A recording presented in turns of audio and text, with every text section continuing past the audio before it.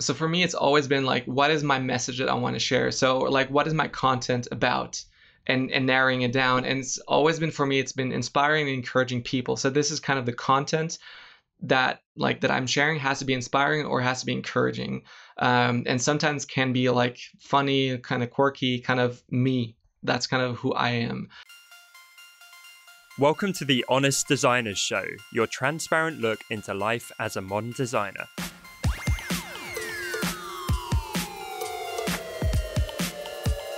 My name's Tom Ross, and I'm the founder at designcuts.com.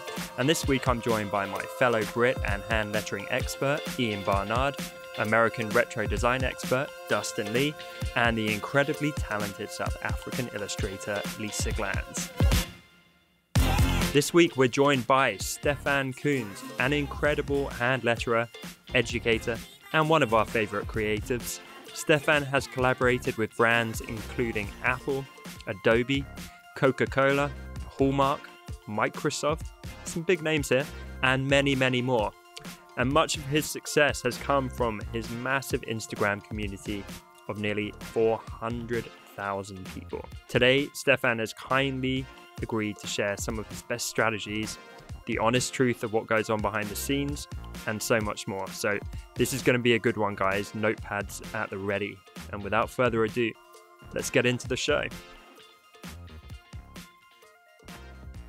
Stefan, welcome to the show.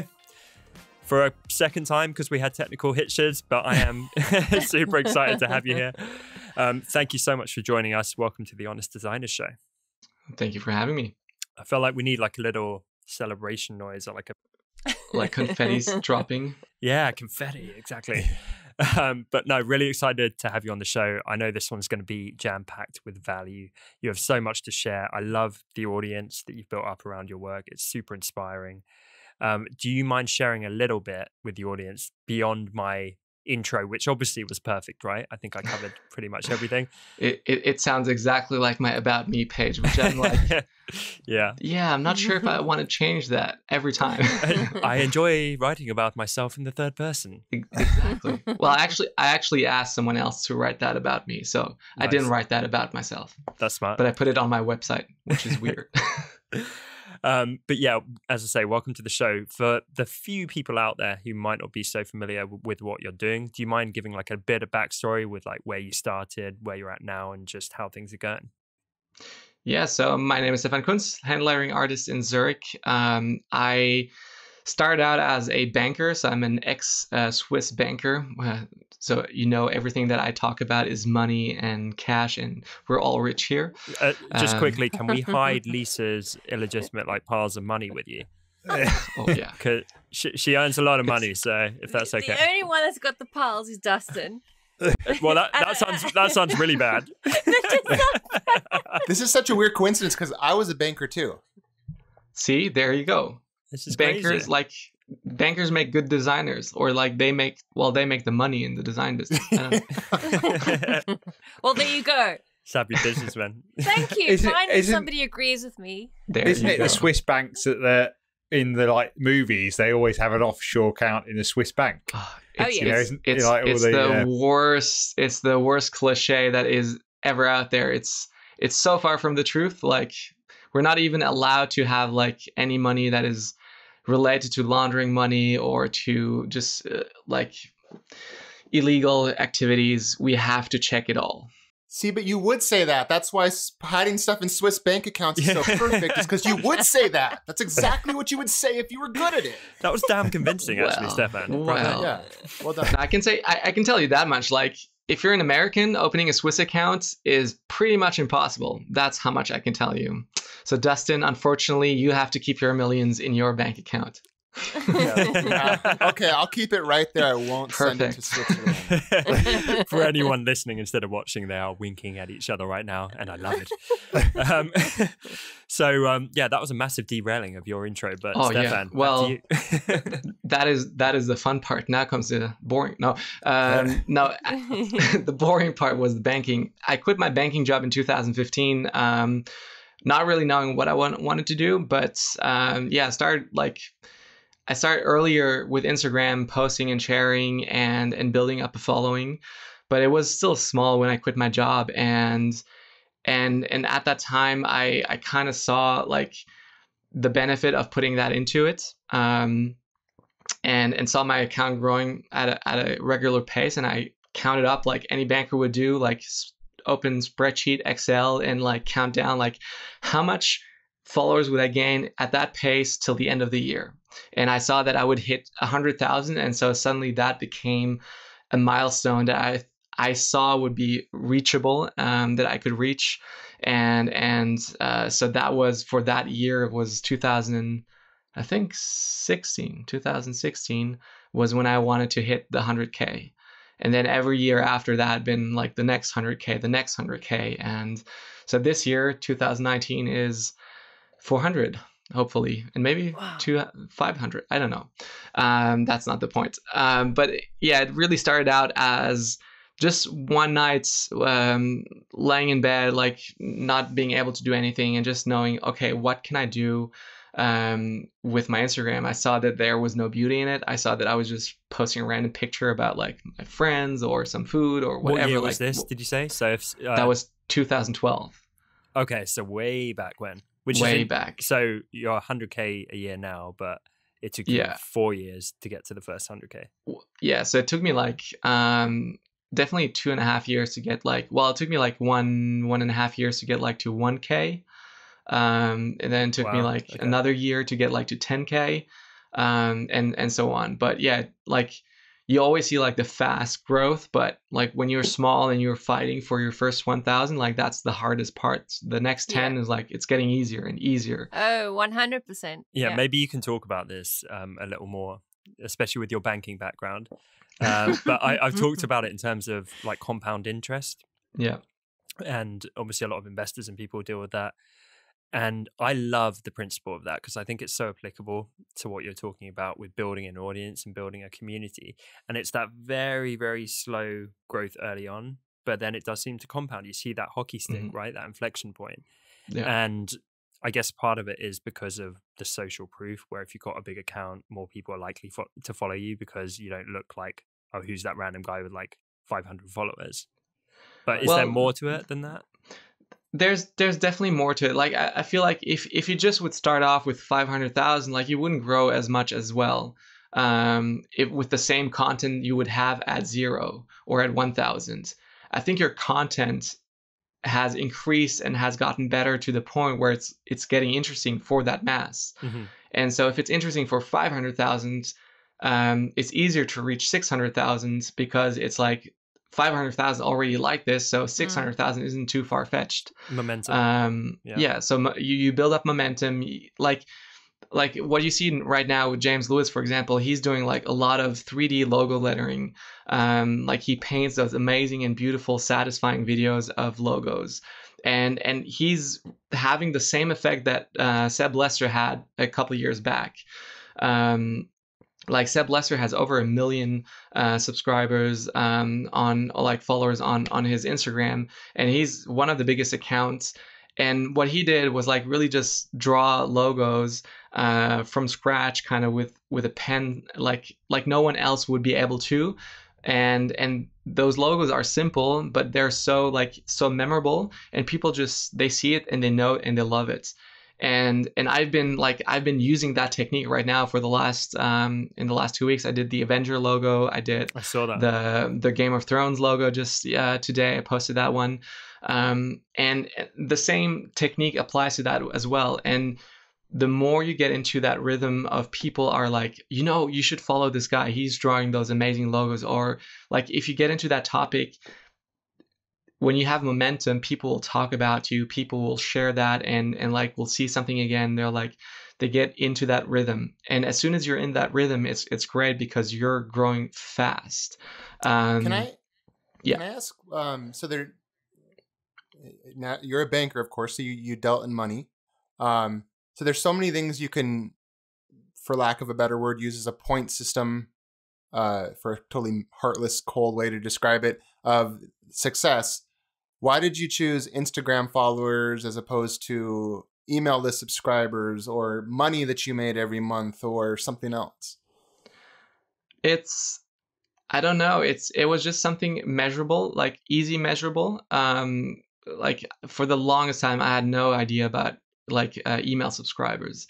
I I had a YouTube account before before that, like um like an old one, like that has maybe ten follow- subscribers, uh, still to this date. And and just Instagram was something that I was doing. Like I was sharing pictures. It, it was easy enough to put like have output and get something back. Like this is kind of the the whole thing about social media is is you're doing work for free. And to to get a reward from that, it's either going to be money or it's going to be f- subscribers and followers. Um, so that's why it's getting hard. Like when you're putting stuff out and it's not gonna give you likes, it's not gonna give you followers or subscribers, you're not gonna get enough back to give you that momentum to go on. Um, and and I think Ian and I both know a lot about this. Is like when you're not growing fast. Like I had just like the the last couple of weeks, it was so slow. It was almost down to going down to zero and, and I was losing my mind because I wasn't motivated to put something out because I knew right now I, I'm not motivated. I don't have the energy to do something, and and not having that traction just slows you down. And when when I see now that it's going back up again, like I, I see myself getting more motivated because I have something that comes back to me. Um, When you refer Yeah. to it going up or being zero, you're talking about followers increase? Yeah. And and but how, but, how but, does but- that feel? Because I think we've all been there, and it's kind of reassuring to hear that at your level you experience that too. Because I know particularly a lot of smaller people do. My personal Instagram is still tiny because it's pretty fledgling, and so I get really tied into this. I can feel like bursts of momentum, and I'm like, oh, so it, you know, it's growing faster. It picks up, and then it flatlines because I can't devote as much time to it or whatever. And then it's, I just hate how your emotions are so tied to it like do you do you think that's a bad thing? Because to me it feels horrible. Like it literally too. gives me anxiety. It's, like oh great that's another metric that i can literally tie my personality and my happiness to. Like it you kind of need to di- differentiate it. I i need to differentiate it as well. Like i i personally always have to to go back and tell myself all right my motivation comes from when flatlines like this is when i have to work harder. This is when i have to put in more work. Like a lot of people get in and, and tell tell themselves like oh it's it's the algorithm that has changed and i'm not getting views or they're changing something and and i'm the like i'm at the lower end. I'm like they have the big leverage. I like i, I have nothing to do with that and and so like i'm the loser in this game. And this is totally wrong. Like this is kind of blaming yourself or blaming no actually shifting the blame from yourself to someone else. Um and and for me that has always been kind of the motivation is like all right you know what? Like if the algorithms has changed it means it's somewhere else or maybe there is like um time of the year where it's flat. And there are like two three times in the year where instagram has always been lower in in growth What But are those times? So I know Um, people are going to be wondering that. Exactly. yeah i'm Yeah. wondering that Me, yeah, me too. usually it's it's it's been the last uh, one or two months um, then it's always after uh, august uh, july it's it's like again september a little bit of october and and usually the months where it's pumping and and going well it's it's um uh, what when is it? It's December and, and January. That's when it, it's really hot. Um, and in um, like just after vacation time, after semester ends, uh, February is usually good as well. And I like, I could t- show you the the Instagram statistic from a year, and pretty much Oh, yeah. Oh yeah. So- it's- so you see kind of like the dips, and that's Yeah. that's been Yeah. like every year about the same the same visual. interesting and it, and can also be me like you, cannot just apply that and you say like oh this is it and so this is my answer Yeah. um like if you would look at james lewis's uh, thing it would be like been up up up up up uh, for the last six months Yeah, but you know Um, what? Um, I talked to him recently because we're doing a new show, and he's like the first episode, which is cool. And he took complete ownership of it too. So he went, everyone's out there blaming the algorithm, and it just makes me want to figure out an angle that works. And so I love that you guys have that in common because Yeah. you, you don't benefit if you're just like, mm, woe is me, the internet's against me. It's like that's not going to help you. Like it's the people that get creative and figure it out, and what does work that benefit. Yeah. That's cool. Yeah, that's that's a, a really critical and and necessary uh, way to to take that in, in because I've seen I've seen other accounts like they've had a viral hit, they've blown up, and and then they've been at that peak, and then they've done the same thing over and over again till it died, and and then they didn't get the momentum to change it up again. Seb Lester is is one of those example again. Um, like he he had a massive hit with that, but he got bored of doing what he did, um, and he wanted to change it all again. Like he started doing like more of these ornamental things, more of those drawings, which didn't fit with what he did before. Um, so he didn't he didn't morph his his channel well. Um, so he had a peak down. Um, so you, just so you know, I analyze a lot of people, um, and and I go through it. Don't like it's it helps me to figure out kind of what what is going on, how are they reacting to it, what is like. I love to analyze things and and and figure out like how are they doing it why is it not working how can i take what is good from them and use it for myself mm-hmm. and and so on and that has always helped me along the way and so with seb lester it's it's kind of been that like he's been at 1 million 1.1 then down to 900 back to 1 with a couple of good viral hits and so on. And, and he's really good at, at hitting those viral hits and hitting them strong. But then he he flows back and and is not consistent with his community. So so there there are like great things about it. There are bad things about it.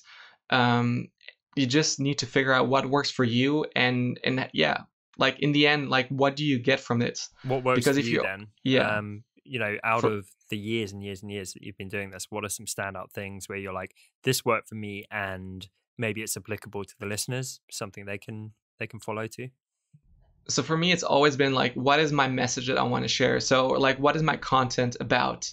And and narrowing it down. And it's always been for me it's been inspiring and encouraging people. So this is kind of the content that like that i'm sharing has to be inspiring or has to be encouraging um, and sometimes can be like funny kind of quirky kind of me that's kind of who I am. Um, so not and the, underline not the generic. We've talked about this before. I think with Lauren exactly like escape into the woods, like that yeah. kind of stuff. None of that. Like, You're saying like make it an extension. Not all those who wonders are lost. yeah, um, those kind of like. Yeah, we're looking at you, uh, Ian. My favorite. no, I'm kidding. I, have never, I've never written that quote out. Actually, amazing. I know. No, your stuff's awesome.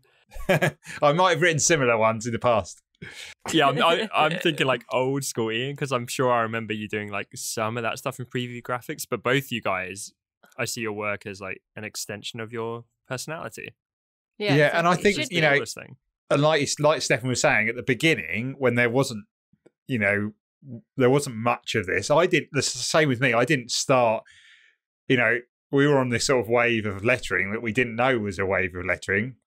I didn't even know about ClickFeed before I started it. So, um, but then you, you you're on it, and like you know those quotes that were first rounds, like you know Stefan was doing some were using the app, and I was doing it, you know, um, over the top of an image with my hand lettering. It it was just you know there was some around, and now it's on everything. And so you, the thing is, you don't want to go where the mainstream is because that you just like get lost. You have to sort of be on the edge or somewhere Side near the it. edge of yeah. what you're doing. Um, and that's where the attention is on the edge. And sometimes, like, I go to the edge with like some of the stuff I do and some of the stuff that Stefan does with like, you know, using, I know, tomato sauce or, uh, you know, like we sometimes write in the snow or whatever it may be. It's not stuff that you would use in a actual job per, per se, but it's it it pushes out to the edge to get the attention, then bring it in uh, for whether that's a project for Coca Cola or whether it's someone coming to buy one of our Procreate packs, whatever it may be. You you need to push it to the edge to people to see you.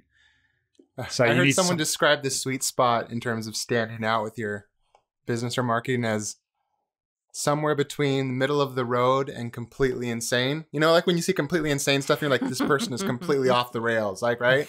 Yeah. yeah. But then, like, there's that person that's crazy, but they just seem like maybe they know what's happening, like they have the answers. Yeah. So what you're saying is Stefan's kind of somewhere between like professional Swiss banker and crackhead.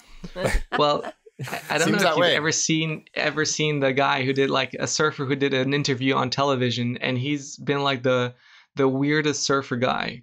Um, it's been like a few years around, and it's just been the most hilarious interview that people have done. But he p- he played it like a fool to to get the attention for his shop for his surfing because he said like this is a one time in a life opportunity like somebody is interviewing me in front of live television so i'm gonna do the That's weirdest hilarious. thing ever and it seen became this. a viral That's the one where he acted kind of like yeah. a dumb surfer, right? Like he acted Yeah, like exactly, super yeah. like it was just so gnarly, man. Like the waves, is just exactly Yeah. best It did. It went, it went hugely viral. it, it was huge. Yeah, he he, he I, nah, I don't think he went on Ellen, but like that would be something today. He would be on Ellen yeah. right away, and just like it just a hits like like the the um, yodel kid. Yeah. Yeah, the Just works. Yodel kid. I love that. Um, so I I have a question. What's a banker doing graphic design? Like, how does that all? I mean, that just doesn't seem to gel. It it it's it sounds crazy, but actually. You, you have to think the other way around. It's like, what does a creative do in a banking job? Because Yeah. before before I got into banking, I actually did like a, a one year of art uh, art school, um, Yep. and wanted to become a graphic designer. I applied for a job as a graphic designer, um, but like there were so many people applying for like um, a learning job that they just they picked the other guy over me from 200 applicants, and like I was the last out of two. Um, and and so when I didn't get that job, I just like, well, what is second? Like, what's my second option? It's like Plan B is going into the bank. It's like getting a degree fast, um, having something in your pocket, like a safety net, kind of. Um, Mhm. You earn good money. It's it's really good. Um, and I, after that, I even got into like a a um, like uh, a specializing uh, two like two years of where I specialize in a certain area in the bank, Yeah. um, and moved to Zurich for that. And so that's kind of how that happened. But on the side, I was always doing creative stuff. Like I at church uh, at the church that I was here in Zurich, I led a creative team.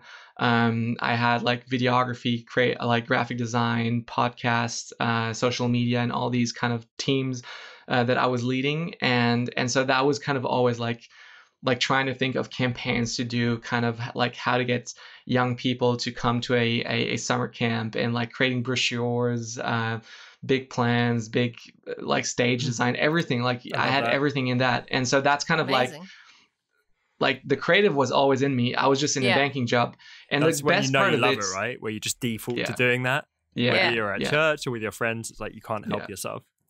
and even at the banking job like people will say like well like how what what does a creative do at a banking job like i'm i'm actually really annoyed when people think of it like this because the truth is It's the same when part of your brain. it's it's the same part of your brain you like Yep. at, as soon as you get onto um, doing a a creative like oh, or as soon as you encounter a problem you go at it with a creative mindset. Like you're like how can i creatively solve this problem? And if you're a bank Yeah. or if you're uh, doing a graphic design job like it doesn't change how you solve it. It's creatively. And so people at the bank were always saying like man you're like you are creative. You're different than everyone else here. Um, because i was like well why don't you do it like this or like this? And they're like i've never thought of it of it like this. So Hmm. yeah that helped The interesting thing for me working in a bank was uh like I didn't my my experience was completely different. I I went into banking because I was in music music and the arts and realized that everyone was broke. And my first like I thought, well, what's the place where you learn the most about business? And stupidly, I thought somehow banks would teach you the most about business, which actually is not true at all. Um, but the. I, I- I started working for a bank and gained a business degree because I thought I can figure out the music, and I need the business experience. Um, which I don't know. I guess that worked out. I don't know if the bank actually helped that much, but I, I think I, I think it did well like in my experience I learned a lot from banking I learned like a lot from working in in a big office with big teams um like being on a structured day having that like a lot of people would say like hey I like I want to switch to full-time job and I thought of this as well like if I switch to to doing this full time like I'll have so much more time but that wasn't true. I just like those eight hours that I worked in a bank were like those are my eight unproductive hours that I have in my day right now. So like I started working in the morning doing some emails, but then drift off and do other stuff and then at six o'clock in the night start becoming active again and working on some other stuff and so it kind of has not not changed it's just i have more free time now to do other stuff Hmm. I love it So true. So you mentioned right now you're feeling a little bit creatively blocked. What is that like? Because I guarantee a lot of people looking at your feed are not thinking, this is a guy that's creatively blocked right now. Um, they probably think that never happens. So I guess it's reassuring for me and all of us and everyone listening at home that it happens to all of us. Like, how does that play out in your head?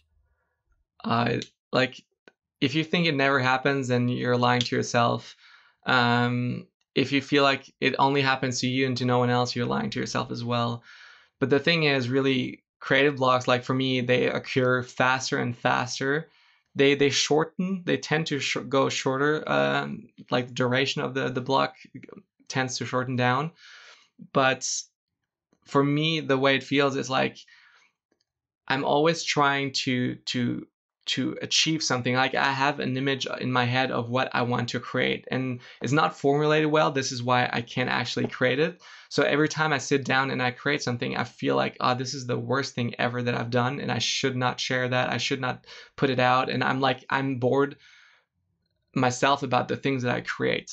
And and so when you want to share something when you're like like i usually often overthink things uh, instead of just creating and just sharing it i'm like like ah this i have this idea of doing this with this and uh, for example like i don't know like like i can do it with with my grids like the same thing with the same style again and it would be another post and it would be just another post out of a lot of other ones that i've done and kind of my style but nothing more.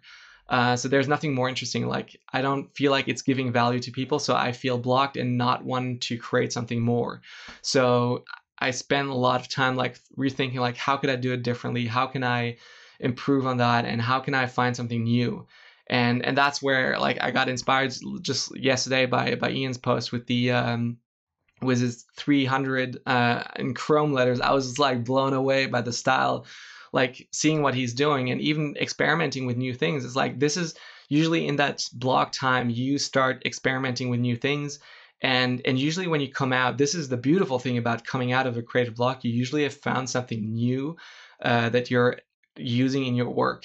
And and that new thing can be something like it's getting super popular it's becoming something that that uh, will be become part of your portfolio of work that you've that you're doing. Like one of the new things that I've been doing a little bit by bit was like these big letters that are filled with like little icons and, and little pieces and and now i'm i'm finding like during this creative block i'm re- realizing like this is perfect. Like this is a great opportunity for me and i have an idea how i'm want to use it um, to to make money or or to implement that. And so so this is something that i'll build out in the future. Um, but i don't think i would have come to that conclusion if i wasn't completely thinking about it and like using my brain like racking my brain trying to solve this problem and trying to get out of this situation that I'm in because your brain goes into a survival mode where it's like, all right, you feel like you're suffocating, like let's get you out of there as fast as possible. Well, there's a pressure as well, right? Like you and Ian, you're so prolific, often posting every single day, and it's like quite a complex piece. And it's, to be honest, the consistency is pretty staggering to me. And the way I think about it is how I play guitar, which is not very well. So I um I, I play guitar, like I, I learned guitar and I learned a few songs and years and years have gone by where it's like I'll keep playing the same riffs and I'll stay in my comfort zone. And so I won't evolve as a guitar player and I'll annoy the hell out of my girlfriend by just playing the same songs at home. But you guys seem to always be moving the bar and evolving your style and getting better and better. How do you do that creatively? Like, I mean, you mentioned you got And where do you inspired find there the by, time? yeah, like you got inspired by something you saw on Ian's profile, but like, how are you constantly just like evolving into new stuff that you never could have foreseen and doing that so consistently? I wish I knew. I wish I like if there was a like a, a secret recipe for that is is like that that would be great. But sometimes it happens when Ian and I are just like chatting through things like the the whole Game of Thrones and and um Avengers thing that that came from Ian like he was he was like coming from like hey let's let's do logos with like let's do the Netflix logo with uh with the letter builder like it it works perfectly and we're like yeah actually does. does. work perfectly Yeah. and and of course it will be a success because come on it's a logo we're using our tool like it's it's also like it sells products as well. That's that's a great thing about it as well. It's like for us it kills two birds with one stone. Um, we have something that goes out. Usually it's it, it has some viral potential in it. Plus it, it helps us sell our products that we create because because now we can create a challenge around this exact same same thing. It's how can other people use that grids to to create their logos or recreate their favorite logos and stuff like that um Do you and, find and so- like trying to reverse engineer it uh, hinders your creativity or helps it? Because I think some people might feel a bit limited, where it's like, well, if I go and look statistic, you, you're quite analytical, right? But I know if I went and tried to like statistically look at what was trending and working, and almost try and reverse engineer a chance of virality, I would struggle to then get creative. But you somehow fuse both. It seems. Well, it depends on how you look at it. Like out if if you take the example of Game of Thrones, I don't I don't feel like this is something creative to do, like uh, redrawing a logo that already exists. Um, not necessarily creative, Yeah. um, but it's entertaining um, and it's inspiring. So again, it hits my marks of like it's it's text and it's entertaining, inspiring. cool. Um, so so that that that fulfills that gap. For me, it's not it's not challenging because to be to be fully honest, and this is the Honest Designer podcast. um, now, to be fully honest, if you look at it, if you look at my drawings close up, like you'd see, like, ooh, this is this is not great. Like I look at it, I'm like, like it looks great on the video. I would not post a photo about it. So so there's the difference. Um, and what? I was going to say I have to agree with you. That's why. That's why I like doing videos because I can be a bit more rough and ready. if Yeah. it's you know you, you, you, you, you can get away with a lot more in a video. So if you if you What, 'cause feel people your aren't stuff, zooming in and that kind of thing, or sorry, because people aren't able to zoom in in the same way, or what? yeah, no, I they think the, can, but the quality of a still is much better than the quality of your video. Yeah. Mhm. maybe just an Instagram thing. Um, Yeah. But because it's going quickly and you only see it for a few seconds at the end, Yeah. you haven't your brain hasn't got time to see where the, all the errors are. Whereas if you post a still, you know, people have time to look at it and see that this isn't Analyze quite right. Yeah. Yeah. So You're talking So about for like, they me- could zoom in on the how you filled something in, or like on the exact whatever Yeah. of something you Well, start to see everything because it's like obviously my- still my- well done, but it's Yeah. just it it the, the thing is like it looks close enough but it's like it's it's it's like looking at a pixelated image of something you're like you're not sure to tell that the line is straight that like everything is is well done hmm. because it, and that's not the point of the the post and again it's like it's more about um the feeling you get from watching it that is the point it's like this amazement of like oh, wow he he just drew the whole logo uh, from this and this and this and he did and it looks so simple because like a time lapse again has the, the effect of wow it just looks so easy i can do it How how, And- how long does it peop- take? Like that piece, for example. It took 30 minutes in, in total uh, to Okay, draw that- that's but still but again ridiculous. That's I, still pretty I could spend thirty days and it would just look abysmal. I, I, I tell you the, the way at that quality and level of drawing i would say like it's it's like i didn't redraw it like I- like i would use to like if i did client job i would work so much longer on it Mhm. um like i worked fast but at the same time i still like like if i'm not recording myself i'll go into the details i'll zoom in i'll i'll make it fine i'll brush it out um like just for myself yeah. but I wouldn't do it for for a video that I'm just I'm no I'm just gonna post it online. Like I'm not gonna like if somebody asks for wallpaper, I'm like no, you're not gonna get any of that. I'm just People- looking at it now. It's crazy good. people I have to love the process. That's what. That's Well, why that's thing. Yeah. uh, I encourage people not to post an actual video them doing it with their hand rather than like a time lapse that you can export from Procreate because people love seeing you or uh, mainly just my hand, but people love seeing people construct something from nothing to the finished thing. I mean, that could Yeah. be like, you know, it might be you just using a pencil or, you know, you using some paint. You may be, you know, constructing some origami with a bit of paper. People love seeing the sort of process. And it's the same for any industry. You know, you take the sport, you like the fitness one, you know, you love seeing the process. You know, you show you a before and after of uh, someone who's, you know, overweight and now they've got a six pack. You know, that's fine, but they they want to see that transformation in that video of, you know, them going to the gym and, you know, all those photos as it gets thinner and thinner. And that's what they really appreciate, the sort of process that went into it. I agree So- because I'm looking in. Uh, I'm not drawn to to lettering particularly, but like I'm looking at the Game of Thrones post and I almost clicked on it, except for I was afraid it was going to make sound if I clicked on it. But even dun, not, dun, even dun, not, done like that. yeah, yeah. I was like afraid it was going to come into the microphone, so I didn't click on it. But I was drawn to it in the same way that I'd be drawn to like, um, do they have over there like um how it's made? It's like a television show, and it will show how Oh yeah. I don't know, like how anything's made, like how shoes are made or something. You're just like, well, how? I like, I'm, I'm not super into lettering, but I'm like looking at that. I'm like, but how did Mm. he do it though? Nonetheless, Did you see the I 18 see rated episode on children? That was inappropriate. and I'm making children. No, Sorry, no, send me the joke. link. Um, so yeah, St- uh, Stefan. Um, I know right now is it is it launched? You've done a course on how to grow Instagram. Yeah, yeah. We've So- done a course on social media. Yeah. Which is awesome, and we can plug that up at the end. Um, obviously, I don't want you to give away the whole course, and I'm sure you couldn't in this time. But for this is mainly for me, to be honest. I selfishly want to know. Um, but definitely for all of us, for all the listeners who are like struggling to grow their Instagram, could you almost like bullet point, like what are some key things people should be focused on?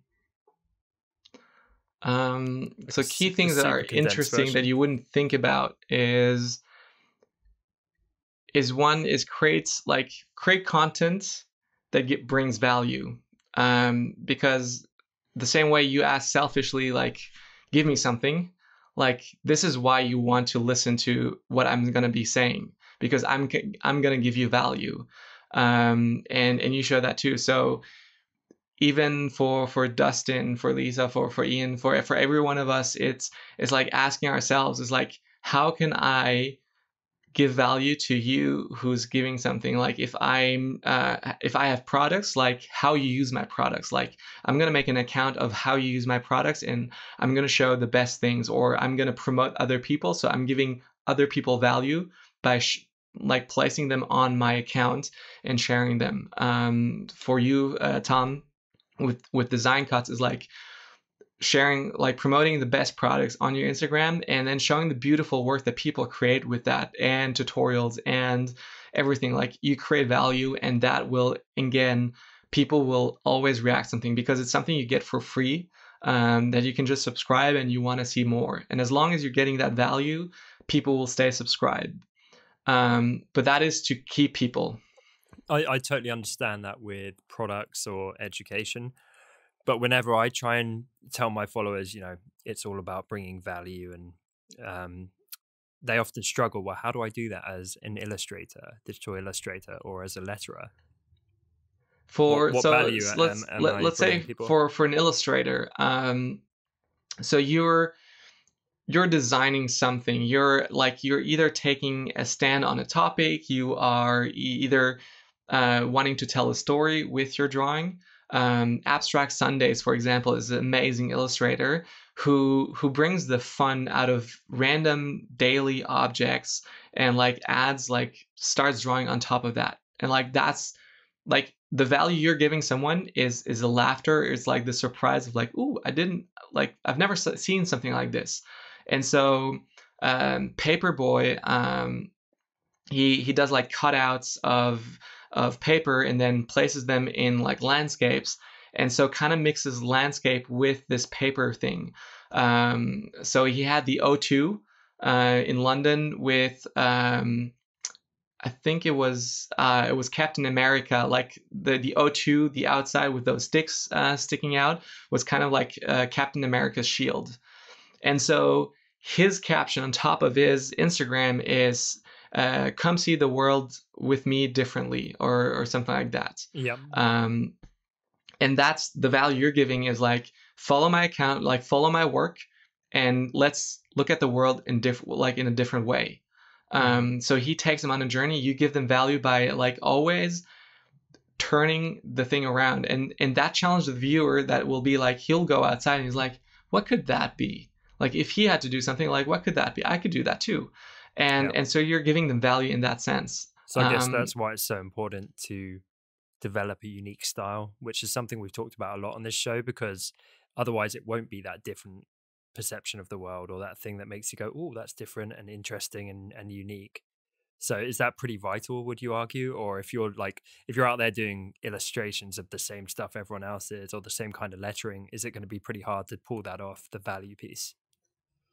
Like the value piece doesn't have to be necessarily very different from anyone else's. Like if you want to stand out as a designer i think yes you have to have your own unique style and you'll develop it automatically the longer you you work on it. Um like i i didn't i didn't hone in on on really working on my style and and developing that that i'm different from anyone else's. I feel like I've copied from everyone. Like I've I've used elements from here and there, and uh, like even from Ian, like just taking things out and seeing like where where does that fit into what I do? Like what do I like about his things that I can like take like a puzzle piece? I feel like oh this could fit with me as well, and like take that away. Um, but with value, it's like is finding the approach you want to take like do i want to help people? Like my approach in giving value is inspiring encouraging people. Like i know that words have a, a lot of power and and using words in a positive way by by using them to encourage others to help them to motivate them. Like like i'm not always motivated but if i can tell people like hey you know what? This is a bad day for me but let's let's look at the bright side there are so many things we can be grateful for and i do a post about being grateful then this is something that i use like i use my art to send that message. And i think every one of us the the better your your art becomes like the more a message you have behind what you do. Like banksy has a super strong message like he he fights um he fights this this whole battle of of of capitalism and and uh, politics and everything and just like puts it in in an image that that just will speak for itself um and so that's the value he brings um and and depending on what you do that's kind of how you how you can bring value to people So would it be fair to say that value could be also because I'm looking at the Paperboy, um, Paperboy's account. I've never seen Yeah. this before. Um, to me, when I I kept thinking, I kept asking myself, what's the value in this? What's the value in this? And then and I looked at it, I thought, oh, the value is that it's free entertainment. Um, I mean, there are messages, but um, but when I first look at it, I just think, oh, this is this is actually quite entertaining because it's so different. So would Yeah. it, is it fair to say that that anything you'd exchange money for, just like you'd go to a movie, equals value? So if it's entertaining, that's value. Mm-hmm. Yeah, Yeah, I, th- I don't if- think people. I think people can get stuck behind value being a certain commodity of like, you know, like teaching them how to do um, Something. Yeah. When teaching value is so nebulous that Yeah, yeah, I'm trying to pin it down to you something. pay for Netflix and you expect entertainment, and it's that sort of thing. You expect some quality programming, I suppose, and that's what Yeah. people, you know, entertainment. Like you know, a lot of YouTubers are just entertainment. There's no like teaching involved. It's just that people find value in enjoying the watch. I suppose. hmm Mm. like like logan logan paul is like he said he told himself like he wants to be the biggest entertainer. And and one of the things that he provides is like taking a relief out of your 24 hours and like giving you 15 minutes where you're not uh, about to think about your day or like you can de-stress a little bit. And and i think the best way to look at value is saying like would you be willing to pay one dollar to follow this account? Like turn that around to yourself and ask the question like why would somebody give me one dollar every month to just be able to access my account That's would people do, give it idea. or not and if and if you feel like you're giving enough value for that then yes you are um and like if you're saying like man my my stuff that i put out should be like people should be paying me 10 bucks a month like you got to know what that means actually like in an era of netflix 10 Yeah. bucks is is billions of dollars that people pour into to make that work. Like that's kind of the the, the way I see it. So one one dollar is already a lot of money. I love that perspective because that that's so easy to to ask that question. It's like such a quick um for the cliche litmus test of just yeah, it's like a it- measure. Yeah, you can Yeah. very quickly ask yourself that. Or, or in a similar vein, I remember someone, uh, I think it was a copywriter, saying, "Never forget the the person that's what looking at your work is most likely sitting by themselves, bored in front of a computer." Um. Mm. So, act And- and- accordingly. So Yeah. amazing. okay, would it be fair to say then that that you should rather focus on the content rather than the volume? Because that's where I get stuck. I I, I have this like I look at you guys and you you like pumping it and every day you're posting something and it's amazing content and the first thing I think of is how the hell are you doing it because where are you finding the time? Um and I just either I'm doing something wrong, like I don't have a process that you have that you're able to actually produce things so much and so prolifically, or maybe I'm putting too much energy in the wrong direction.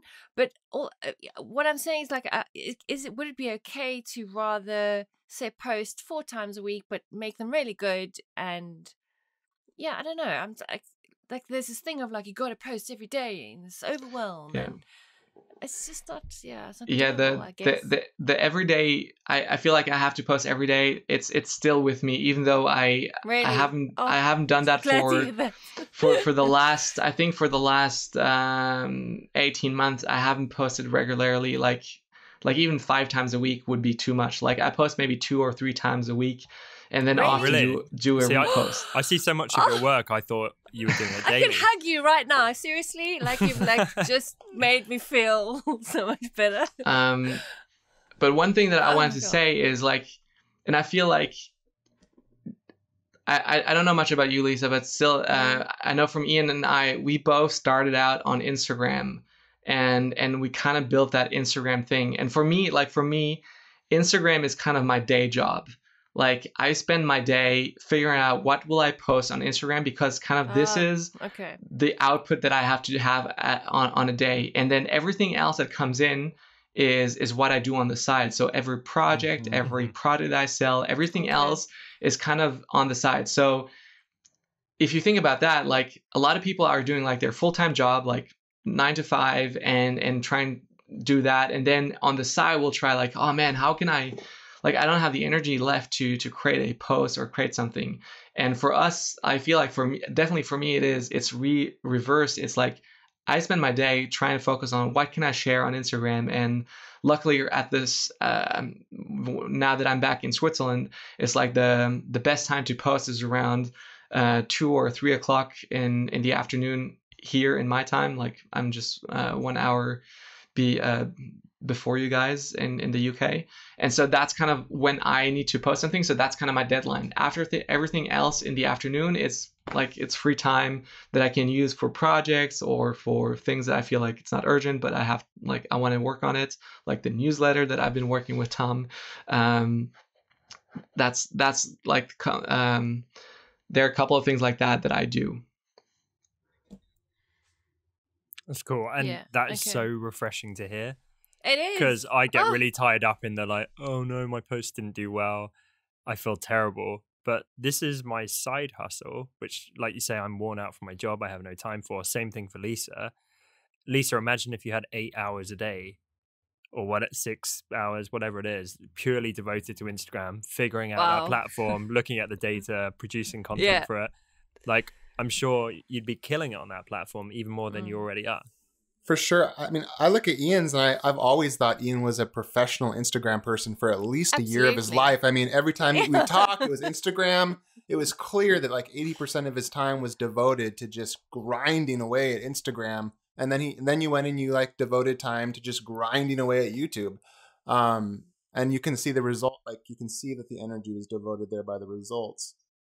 But Mhm. yeah. In- input, output. um, when I started, I um because there has to be a sacrifice because we've limited by the amount of time, and Absolutely. um uh, like I've got two young kids, so we you know it sort of limits it even more because I don't want to sacrifice, you know, work doesn't come before them. So, but when I first starting on Instagram, I was sacrificing paid work, as in I was leaving all that. You know, I was doing what um, Stefan just mentioned. I was focusing on Instagram and YouTube more than I was focusing on. I got a website to do, or I had you know some branding stuff to do, and I get behind on that. But for some reason, I I thought I you know I couldn't see where it was going to go, but I thought if I do, I was in one. I was enjoying it. You have to enjoy it, um, mm. otherwise it is a real struggle. Um, but the second thing was that um, uh, because I focused on that, sacrifice maybe money and maybe time on um, it. That I'm now, it feels like I'm reaping the rewards of having to put in those years and years where I didn't earn anything, or like it took me you know, three, four years before I got anything through it doing Instagram. And I'm still Which only getting a small bit. That takes some serious faith. I think faith is honestly the word. So, Stefan, I'd I'd love to get inside your head, like early stage Stefan Kunz, even younger than you are now, right? Like, what did that look like? What did that feel like? Where it's just going on faith, you're plugging away, you're putting in all this work, like your friends want to go out with you, you got other commitments in life and you're like i got to put the time in but you're not really seeing any return on that. Well the thing was that i like i didn't quit my my job at the bank just to pursue instagram and pursue that like i i wanted to become first i wanted to become a wedding photographer then it was like opening a coffee shop and and they're like completely different things that i wanted to do before like i I, I always tell that story. Like lettering was my my best friend, and I never saw her as as the partner, the person that I wanted to marry. Like, like we're we're just we're just great friends, and everyone else is like, no, you guys are like matchmaking in heaven.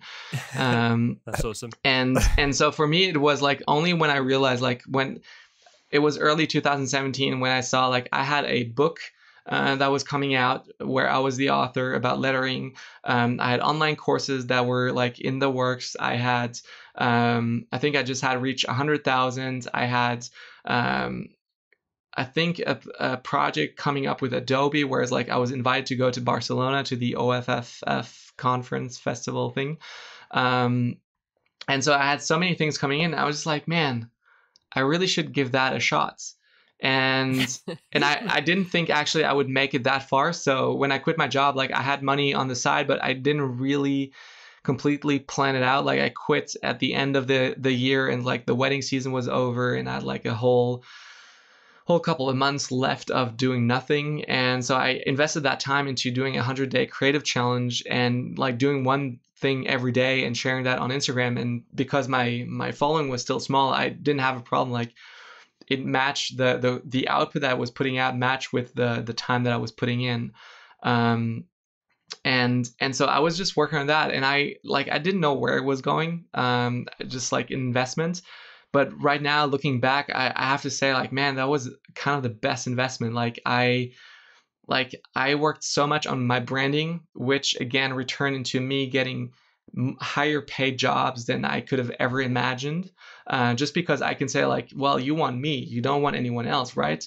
And and then you can play with that. Mm. While every other designer has to fight for like, well, if they're not gonna pick me, they can just pick someone else. Like, so yeah. I gotta work on my price. So that's the only differentiating part. Um, and and so that has worked really well for me. And and right now, like one of the next step that I'm doing is like I want to hire a videographer and film editor to start up my my YouTube because I want to invest in YouTube. And suddenly now this whole investing into something suddenly costs a lot of money. It's not just my time that I have to put in, but suddenly costs me a lot of money. And like I want to plan like I want to pay this guy for a whole year um, to make this work. Like I like I want to see if it works in a year or not. Then either I'm dropping it or doing it. But but then you see like suddenly investing into something like that suddenly becomes a whole lot different and like is is branding so much like is it worth so much to you or not? And then you can see like oh well we'll see. It's a long game building a brand. And i feel you because you know i'm doing my personal brand bit on the side of, of my company.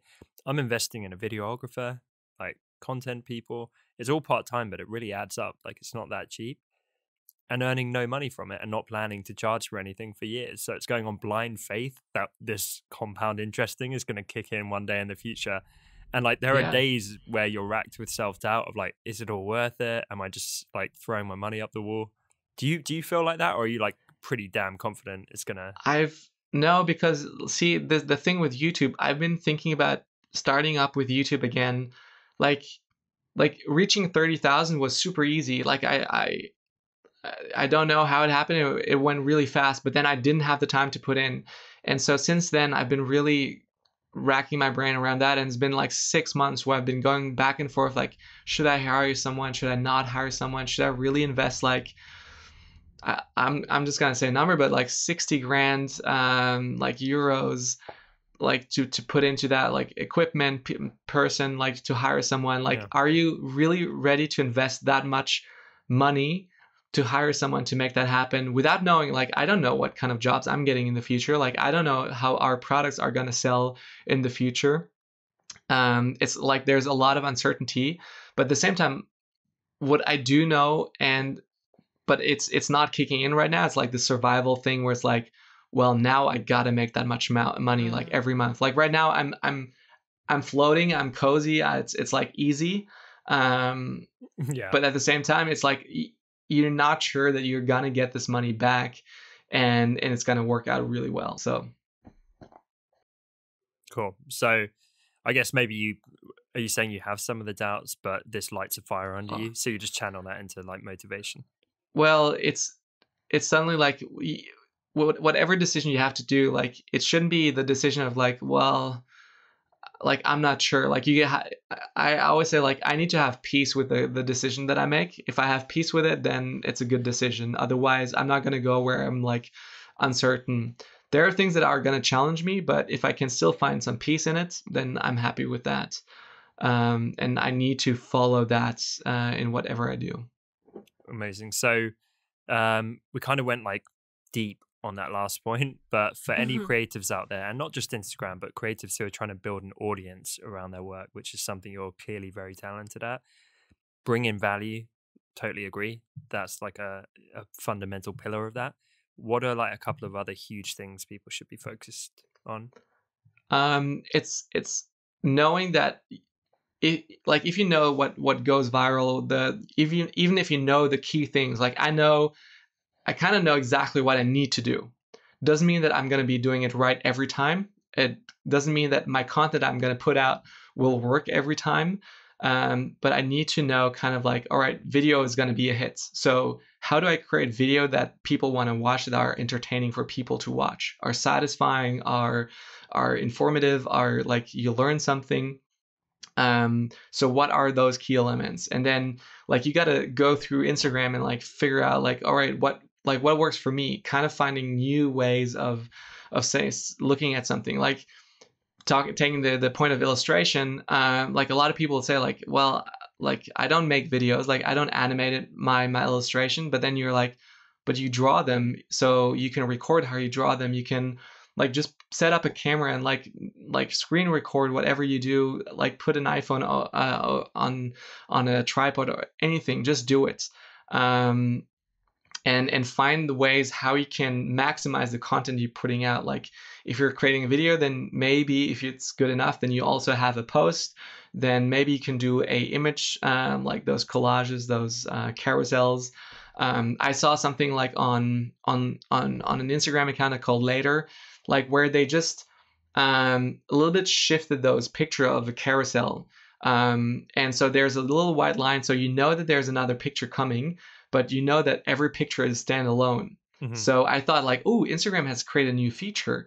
Till I, I realized, no, wait, they just made it differently. So on the last collage that I made, I tried the same same trick. I just like, well, will this work better? And so suddenly, like every picture you go in and you see, um, like if you look at here, you see that little line, yeah, on the side? Yeah, yeah, yeah. and Ah, that's that's smart. and and see this this is kind of the things like it's it's trial and error. It's making making those those assumptions and and uh, hypotheses and just trying seeing like is is my my thesis right? Am i wrong? Um like the game of thrones right now it's like it's it's behaving the way i expected it to behave. And I hope that in the next days, like the it will the Explorer feature will kick in where it's gonna be be shared with a lot of accounts that haven't followed me, and that will get me a lot of followers. For example, so- the yeah. Sorry, go ahead. The the Avenger uh, post, for example, I gained over a thousand new followers from that one post. Um, so so that was kind of what I expected it to. It reacted that way, and it's like like you can always tell yourself like, why did I not do it before? But like at the same time, like you still have to do the work. You still have to try it out. And one person asked me about like like you you're saying like get your people and like engage your community by asking questions and i'm asking questions but nobody's responding to it and i'm like well try different questions try tr- like find out what question they want to answer make it relatable to to the content Mhm. you're posting that people want to to to say something like To encourage who- comments and that kind of thing. exactly like who's your favorite avenger and like get people to to to to talk about that or or things like that but it has to like you have to figure it out over time and you'll figure it out over time but um great example was karen um who who's like at ipad lettering. Like Oh, yeah, I, I I know, yeah. sat sat down with her um for lunch and I I told her all the things I was doing and I told her like I showed her what was working what was not working. Um I I told her what she could do and all that stuff and then she she went back took her a couple of, of months to to to like work it out but then suddenly boom it exploded. She had a massive growth on instagram and like like over a hundred thousand in in a, cou- a couple of months like crazy Jeez. And so I guess to distill down what you're saying is just be a real practitioner of the platform. Learn its nuances, learn what works. Stop waiting for a happy accident for your content to blow up. Actually try and engineer it as much as you can.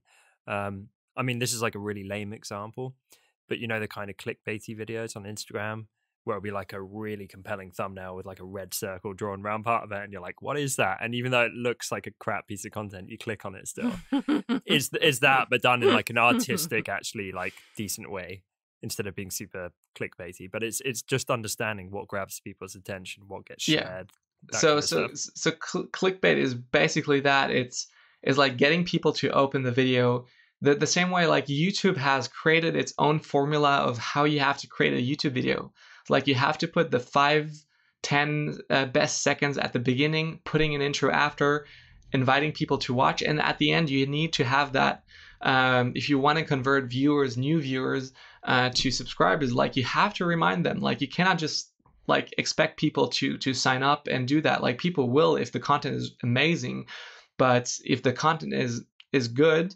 then people still need to be reminded like hey subscribe to this channel if you love this video blah blah. You will help help and support this uh, by blah blah.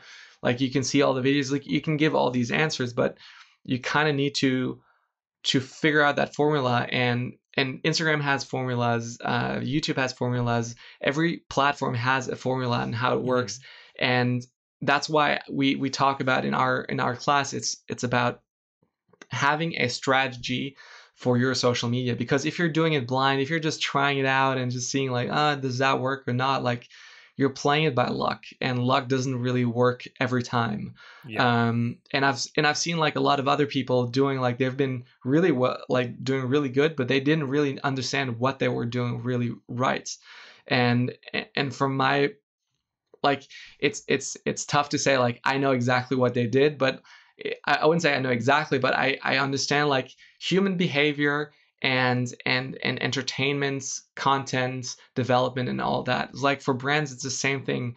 Like if if nike tells me like well we have 80 million um subscribe like followers on instagram i'm like this is great but it's not really that great because you have over a billion customers or people seeing like on on um, during the world cup. Like imagine how many people see nike logo like a lot of more people should be should be uh, following you on on on instagram so like you have the biggest budget I, I love it it's just being immersed in it right um Yeah. the same way dustin you go and regularly look at what people are doing with email marketing and you pull out bits that you like and you apply it to your own and that's why you're fantastic at email marketing it's like Yeah. anything but i guess my it, it all kind of applies, right? Like um, the call to action type thing. I mean, email marketing is essentially direct mail marketing through, you know, snail mail, but transferred onto an electronic platform.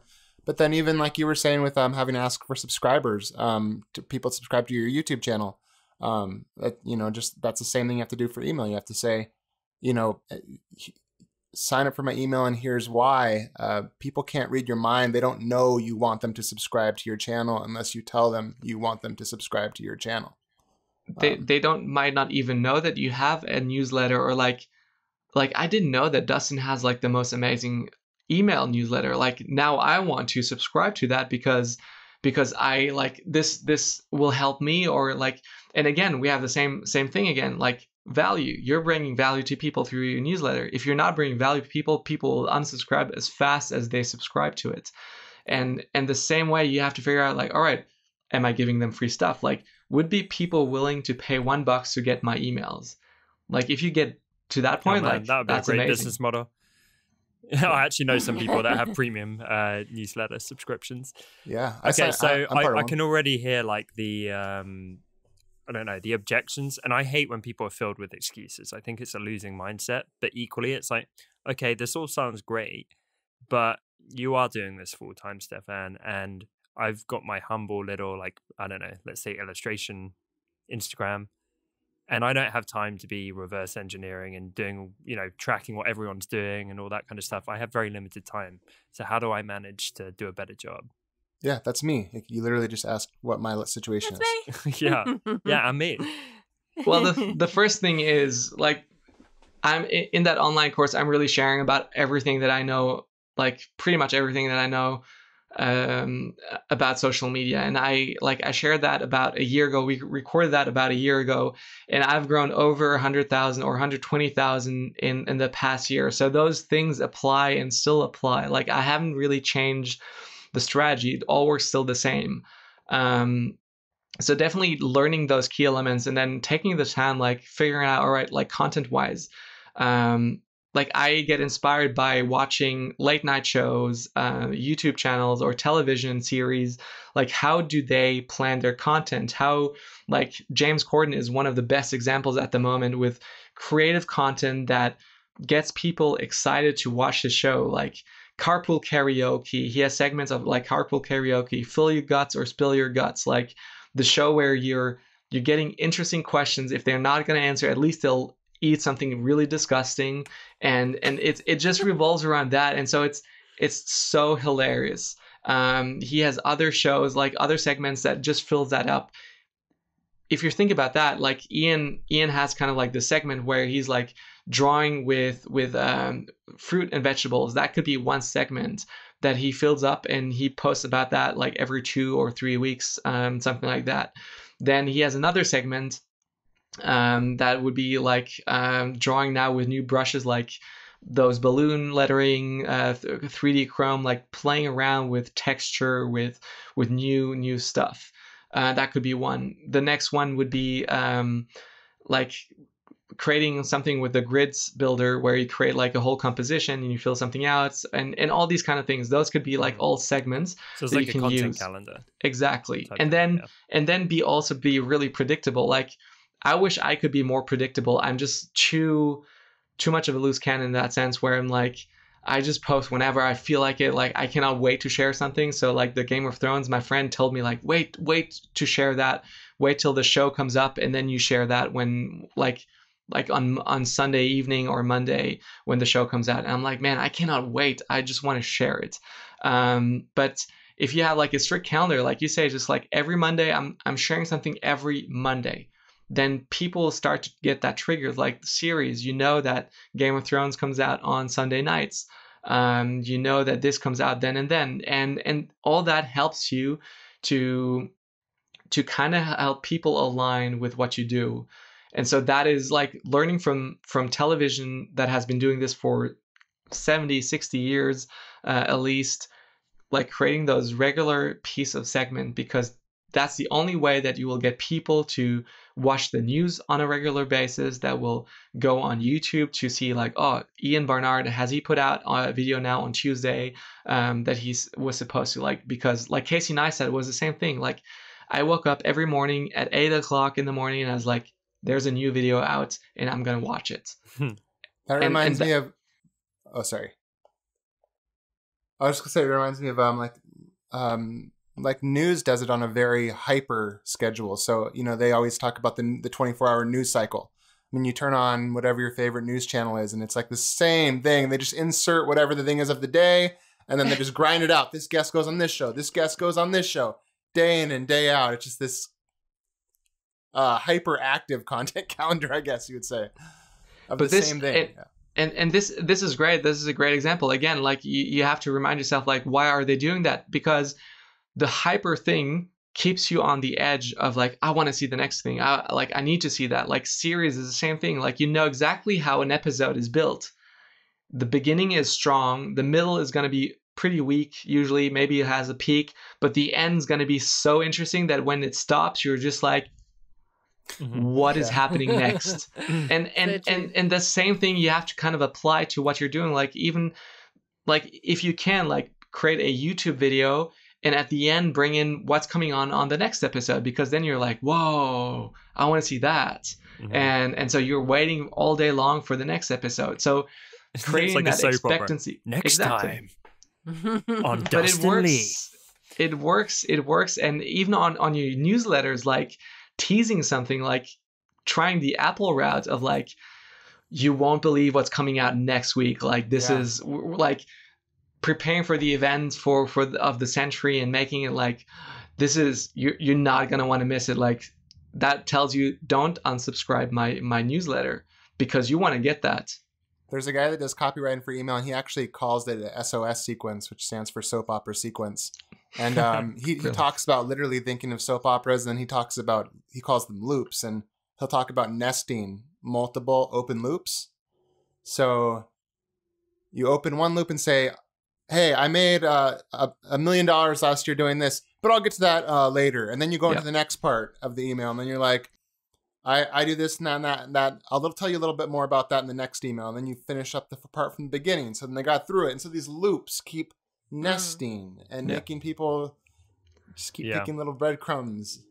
it's it's and and and again that like this is those are the elements you have to pick out of what you see like when you read something like if you're curious enough to like look into these things and seeing like oh this is interesting. I like how he does that. Or like like you look at a post on instagram you're like oh i actually enjoyed that. Like ask yourself why do you enjoy that? Ask yourself like again with that loop like why did i just finish reading that whole email and i didn't stop and then you're like ah he opened those loops and youtube videos is the same thing I'll tell you, You- what it is. It's like being an active listener instead of in a Mhm. conversation just nodding along.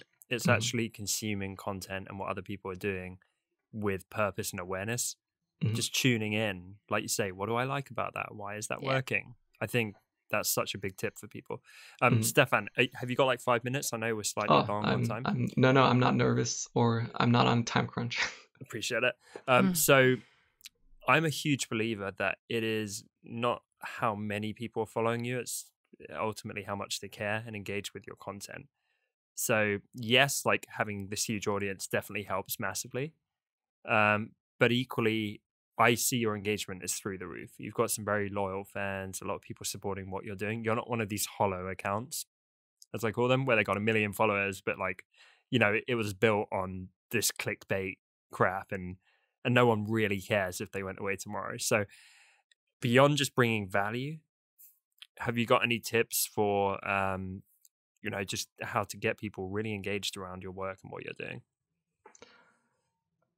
I feel like it, it's it's the question is what type of work do you bring? Like, um, if we look at like accounts that like the engagement drops and drops and drops and drops is is is the life cycle of how long do you keep a subscriber interested in your work?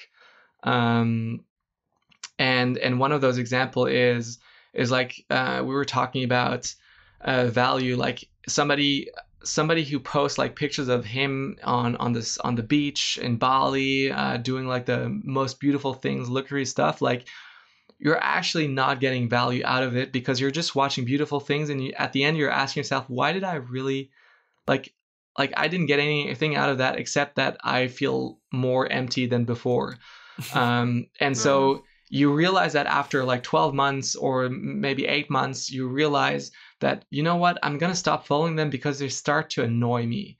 Um, and and that is a massive problem. So this is why you have to figure out like how can i keep those people engaged by by growing by like taking them on a journey. Taking them on a journey is kind of the best thing is like like i'm going to share what i'm creating. I'm going to share what i'm becoming as an artist. Like like one thing that i want to do on on my youtube is like at the moment is, is the big topic for me it's i don't know what i want.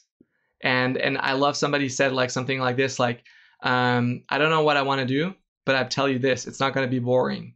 And so you take them on this journey of like where, where you guide them through. And so this is kind of what i want to do on on youtube is is one of course it's talking about what i do creatively what i do like all this stuff and and give them value.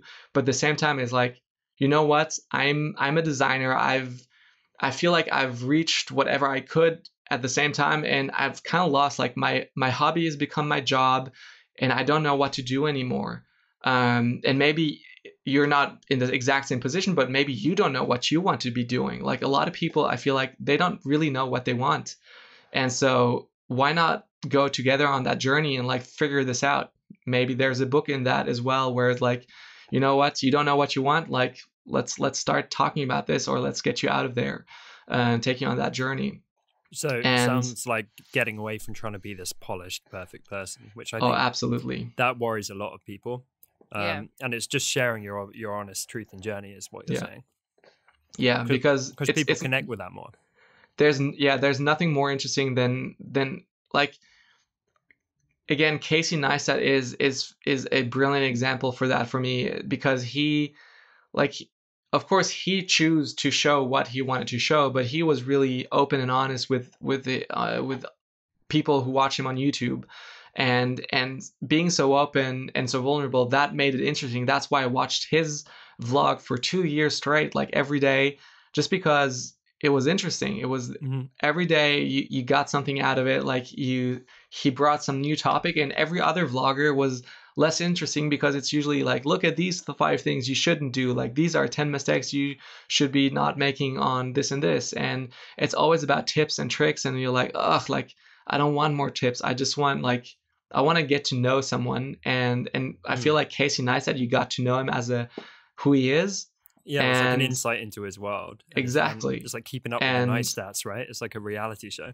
exactly like you know how like how he interacts with his wife with his son with all of that and and somehow just you with and and that's a beautiful thing is like you without having to actually do the hard work of being a good friend you can keep up with someone without like you can just sit back and just fill So yourself true. up And it's- That's a and- great way of putting it. Because let Yeah. me tell you, my friends drain me. Putting in all this work, like having to respond to their texts. I feel like Dustin. I don't want to get back to anyone. It's, it's true. I was literally thinking it's true. Friends, I mean, friends are hard work. In fact, I think they say like a person can really only truly sustain two to three really good friends Yeah. in their life. Yeah. I mean, just the idea of two to me is daunting. Hey, we're friends like these. Who needs friends, right, buddy? It is work though, right? It's it's emotional work. It truly is. So I- Yeah, I, mean, I so for sure. relate to that. The idea of watching somebody and getting to know them and like them is a very quick, easy form of that. It's like Yeah. yeah, it's like the way um, that stalkers and voyeurs are friends with people. we're friends, only you But- don't know it. yeah but but that's that's that's the side that i i would be scared about like so many people like 10 million people follow uh casey on or are subscribed to his channel. And like he he knows like 0.0001 of them. Um and and those people like i could co- go up to him and like you you came from there. You've been through this. You have seen this. Like i know all these things that a good good friend should know um like i know this is your best friend. You go to the super bowl with them. Like it's shocking how much i would know about him but at the same time like like for me i know that i cannot go up to him and walk up to him and just like hey bud like we're best friends. Like no you're not. Um so so but a lot of people would go up to him because they just like you're in this world and and depending what age you are like you have this hard time of actually differentiating like no this is actually not a good friend. Like i actually Mhm. don't know him that well. And Yeah. and so needing so for me like that's the very first time that uh, somebody uh, approached me that was a follower that i had no idea about like that was the weirdest experience ever. Um, because nobody will tell you how that is like you just meet them and but then yeah learning to say like just like awesome man. Oh you follow my work. This is like truly being grateful for that person to follow you and just like like hey thank you so much. Like like how long have you been following me and like eh, often the, the hardest part is like they, they forget to introduce themselves um, because they know you so they forget to like hey i'm this and this person We, So they're Dustin like, and "Oh." I literally just had this at Creative South. In fact, Dustin, we should give give a little shout out because there was a bunch of listeners that came and said hi, and it blew my mind. I was like, "That's so nuts!" You listen to the show and you recognize us from I don't Yeah. know, maybe from like the little cartoons in the artwork, or from Yeah, from the videos, neat. maybe. But but it was nuts, and yeah, really humbling. Really appreciated it. So and they I'm- know I'm you, which guess- is so weird. yeah. They and, um, know that I'm a bully jerk. They know that that you're, super curious. that I'm super curious. They know they know who you are. Yeah, it's very funny because you're like you. It's like they've done intelligence on you almost. Mhm. hmm Like you know me, but I don't know if I should follow you into that alley. I don't. Can I trust you? Wait, you didn't follow them? I did. I did. I never looked back. Turned out fine. Yeah, it was great. we had margaritas. Um, no, they were um, they were really cool though. So yeah for any of you who did meet us, who are listening now, we appreciate you guys. You're awesome. You're not stalkers. Far from it. You're charming. All the hearts. Um, so Stefan, I feel like we're really picking your brain this episode. go for it um, when you're giving these points, we're kind of diving in pretty deep and elaborating on them.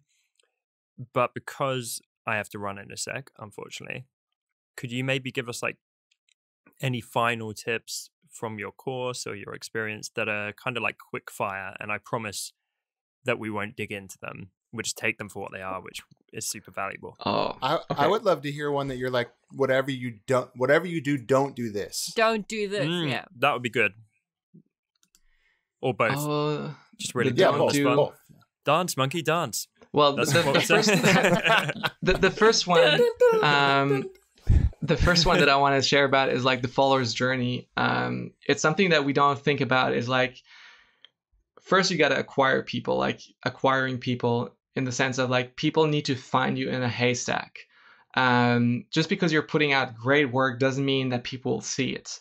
Uh, so getting yourself seen is is super important um, and and that gets through like creating viral content that will get featured like that gets picked up by the algorithm will be shared all that stuff that's one way but the other way is is start commenting with people gary vee talks a lot about this is like like bombing someone's instagram is like getting into their either their dms but their comments their their likes like you'll you'll notice someone uh, really being interested in you is like they start to to notice you. And and I explain that usually like um, a schoolyard you're a kid you're the new kid and and you're just standing in a corner. Nobody will ever notice that you're new that you're like who you are if you just stand there and do nothing. And that's what a lot of people do is like they stand there um, and we'll just like observe other people we'll go up and like get close to other people and just like stare them in the eyes and and just walk around and like you're like like a psycho. like yeah like y- you like that's weird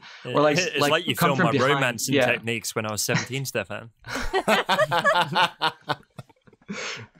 okay we Pretty smooth. maybe we should talk I with you next time it, Tom, sorry. Oh, cheers. I was kidding. Actually, no, I'm probably not kidding. it was Uh, like something out in between us. um then Sorry. but but but then the greatest way is like actually going up to someone and then like like, you give them a tap on the back and you're like like you're the guy kind of like this. But that's kind of like the like but if you want to really do it really effective you go to someone you tap them on the back you look at them and you're like dude i love your outfit. Like your combo like i'll, I'll go to dustin i'm like dude i love your hats uh, those green the background in your picture looks really amazing. You like you play the guitar like and, and he what what happens with him is he starts to notice me because i noticed him. And he's like Mhm. oh he picked up that like i play the guitar and like well you know like it's it's easy because it's in the background and like i haven't asked him much more like like what do you do for a living? Like i, I get into that and i start asking questions. And this the moment i start engaging with him that way like not just the the easy like oh you have uh you look good like something like that or I, like this post. yeah like i like this, this post content like is great. exactly like exactly like random comments that that don't say nothing What that brush won't that? do much exactly Check out my Like, portfolio. We what what, Yeah. what what app have you created you're like read the caption at least or go through a couple of comments because there's someone else who's asked those questions Yeah, but Um, that, the but if- thing is that replying to as many comments as you can. It's e- it's easier at the beginning when you're Yeah. growing from small, but like someone someone posted and said, uh, you know, well done to you. You go through and you reply to these people, even though every time you put it in the description. And I say, but these people might one, you know, if you reply to people who are asking the mundane questions, one, they will appreciate it and they might end up following you or they might end up buying something from you. Say you've got a store like we have and stuff like that. So, um, yeah, never, uh, it, it may be frustrating going through and replying to the mundane questions, but whatever comments you get, make sure you reply. Um, and you know, we try, and also we like in the DMs and stuff like that. Obviously, um, the more you get, the harder it is to control. You can end up spending a whole day just replying to comments. Exactly. But um, you but, know, but this is as, as soon as you get to a certain size like this is this is what you do to kind of like keep your like engaging with your uh, followers. Um but the part where i i want to talk is like more about like to get, starts getting people notice you. Um it sounds really selfish if you if you do it like well you're gonna do it for for some selfish reasons. But if you go around instagram and you're like replying like go through a hashtag that like works with what you're doing like illustration you go to a certain ty- type of topic and you go into that and you start replying but like i said like comments that work like oh i love these color tones you use in this picture um where did you find this or like you, you dive into that and something and meaning. Exactly. And and people will reply and notice you and then will hopefully will click on your profile. Like the best case scenario is is you walk away and kind of again like schoolyard uh, example is they you walk away they look at each other like they look like two friends look at each other like who is this guy? Like and then somebody's like oh like he's a new kid. Like you would go in you would check out their profile and you're like and then if those people like the work that you've put out like the last nine pictures you have on your instagram will be determining whether or not they want to follow you or not. And so Mhm. that's that's kind of the the thing to get seen to get like um, get the attention and start to stand out because there are some lettering artists like Gemma O'Brien is in my in my mind like or in my opinion is one of the best um, illustrative lettering artists out there. Like she creates this amazing work has a big amount of following. She should have way more because not enough people have seen the account probably and had to decide whether or not they want to follow her or or not So you're, And I you're like saying if a- you're smaller, like basically go and engage on a bunch of other people's Yeah, profiles who like- are relevant in a sincere, in-depth way. don't be like a, a networking meeting where it's just about giving out your business card. 'Cause you- Exactly. You, know, that, Terrible. that just leaves a bad taste, you know, in the comments. that Uh, that- that is the oh hey have you checked out my page like like delete yeah, this and, and- comment and even when you do it like semi sincerely, people can smell it a mile Yeah. off that you're just Yeah. Looking for a follow back. Where it's like, Yeah. hey, I enjoyed this post and the sunset looks pleasant. You know what I mean? You can just tell where it's like you are just commenting because you want me to check out your page. But I can And- also tell when and- people are like, the- you know what, like this really resonated with me. I'm going through some shit at the minute and it meant a lot. It's a bit like when you, you say, you know, someone says, "Oh, how you doing?" and you're like, "Well, you know, just recently my grandfather passed away," and they said, "Oh, well, that's enough about you. Let's just talk about me. I've got a new car. I've got a Lamborghini. Oh, it's really nice." And I said I was sorry for that, Ian, okay? yeah, I thought I had to bring it up, Tom. I had to bring it up. But I've talked enough. Um, what about you? What do you think about me? nice. the um yeah that's like as as soon as you're and and then as soon as you're at a at a certain level um like for for for probably Ian and I when when we start doing this like it can have this multiple like ripple effects because they often I've had it when when I've commented on on some somebody who followed me like like on a post in a hashtag that I was just going through and like hey this is awesome cool stuff. Um, like like they suddenly share that on their stories and like oh, this pi- this person commented on my picture like that's that's when you have like following and and good Mhm. following like can Mhm. can reach more uh, masses I always say Mm. this. It's like the small gestures, which many of us might do to get off the ground. The bigger you get, the more they're appreciated because people realize you have less time. So when like The Rock shares something on his stories, everyone has a meltdown because it's like, holy crap. But if I shared the same thing on my story, they'd be like, yeah, thanks. Uh, Yeah. I, you know, I and you genuinely like. I think it was like, uh, is it um like Tom Cruise signs or spends ages after, uh, you know, on the red carpet signing things, and you, you get a No, reputation. he's for- trying to convert them to Scientology. Yeah. It's not autographs. They're signing away their life.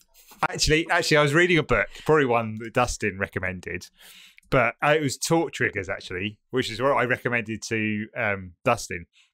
You know, Penn and Teller, the magicians. Uh, after their gigs, they have like a meet and greet, and it's nothing. It's no extra cost. They make sure they meet and greet everyone. They have a photo with everyone, and you know, for someone who comes along, that's a really special moment. But for a David Copperfield gig, to be able to get a meet and greet for 10 minutes, it's an extra, like, I know, 100 $200. So it, it doesn't become very special. And, you know, there's less of that. You know, they they do it because they love their fans and they love magic. And, you know, and people generally get excited. Whereas for like David Copperfield, it's like he's just trying to make money out of it. And It's very weird. yeah, Yeah. Because I, I remember I, I took my wife and we went to a John Mayer concert, and when we went, it was like for an extra hundred or 150 bucks, you could get a picture and something signed from him, and I was like. I would never pay that to go do that because then, like, it's super awkward. Like, I have to fun- come up with something to say to this guy that doesn't even want to see me, that purely is just getting paid to hear something say Yeah, something. it's Like, why would I put myself through that? Mhm. Uh, you know, it's and it's being just being genuine, isn't it? Because you're like, you know, the only only reason like um, me and Stefan have got a huge following is because people are invested in following our feed or invested in our products, and so we're genuinely thankful that we get to do what we do, and so doing, you know, appreciating your following, you know. You know, giving our time is just part and parcel of where we are. Is, you know, when people I would love it if we're all at a conference like next year and I see you and Stefan charging for autographs. That would just be my favorite thing in the world. If you're like, well, go away, buddy. Cough Yeah. up. That's not enough. Whereas, like, me and you, Tom, could charge for autographs and it would just be an empty room. It'd just be me and you, like, chit chatting over some coffee. Like, people You- poke you- their head in. You mean be like "Oh, Red of no." South, where we went around trying to pay people to take selfies with us? Just pretend you like us. Right. please. Grease their Oh, palms. That's pitiful. Oh. Cool. Um, Stefan, you've been a fantastic guest. yes, you you. have. I I nearly asked you for another tip because I just want to pick your brain forever. God, Um, Tom, even I'm going to start I telling know. you um, I believe you're actually coming on the uh, community hangout tomorrow at Design Cuts Though. That is so right apologies in advance. You're going to be sick of the sight of me, but um, I appreciate all the value you're bringing to the design community. Um, absolutely Stefan, where can people find you and like anything you're working on? This is the time. Plug it up. You've been so great. Everyone go check out what Stefan's about to say. Um, so currently it's Instagram. My my main account where you'll get the most from me will be Instagram. Uh, ramping up is YouTube. So expect something to come in the next month. Um, I'll be doing a big reveal for that. Um, if if it all works out, I have a friend who's coming over for for just to see if we'll work well together.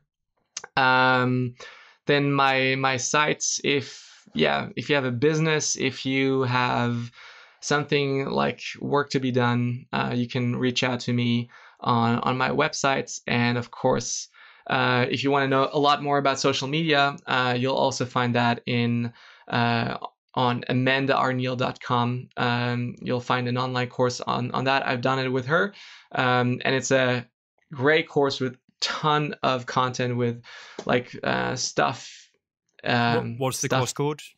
It's called Mastering Social Media. Nice. It's it's a brilliant title that sounds so clickbaity. No, it doesn't. um, so yeah, everyone listening, please go check out Stefan's Instagram, his website, stefankunz.com, his course, Mastering Social Media. Go check out all of that. And Stefan, thank you again for coming on. You were awesome. I hope you'll join us again in the future. Absolutely. But appreciate it, buddy. It's a it's a good hang. It's a good Wednesday night. Give it up Stefan, everyone. Thank you. Thanks so much for listening to this week's episode. As always, you can find full show notes over at honestdesigners.com or find us over on iTunes and now Spotify by searching for The Honest Designers Show. And remember, we're now on social media too if you search for Honest Designers. If today's episode helped you, then it would mean the world to us if you took just a moment to leave us a quick review over on iTunes, as this is one of the best ways for other designers to discover the show. Thanks again for tuning in, and we will see you next week right here on the Honest Designers Show.